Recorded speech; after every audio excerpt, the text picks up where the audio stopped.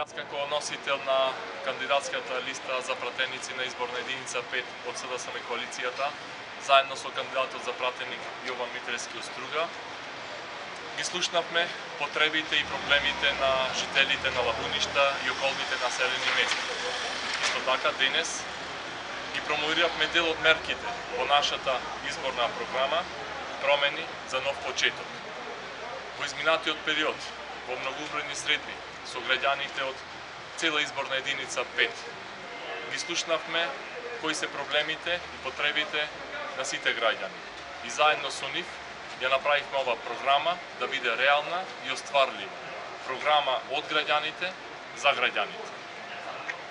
Исто така, токму денеска, овде, од центарот на Лабуниште, сакам да упатам порака до актуелната власт на ВМРО ДПМН, предводена од Никола Груевски која што во изминатиот период упорно прави делби поделби по верска и национална припадност.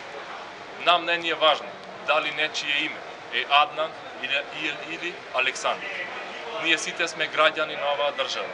Сите ние сакаме подоба и подостоинствен живот во ова наша заедничка татковина Република Македонија. Денес ги повикувам сите граѓани во недела на 13 април да ја дадат поддршката за Стево Пендаровски, затоа што тој ќе биде вистински председател на сите нас.